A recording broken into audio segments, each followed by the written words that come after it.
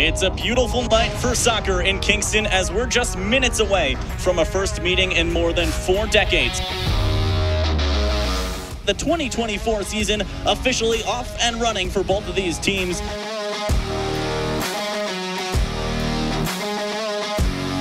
In swinging ball towards the back post. Header towards goal is going to be cleared. A backup shot is in. URI take the 12 seconds left. Here comes URI. Could they stamp this game close? One on one. Here it is. The goal is scored. Game, set, and match.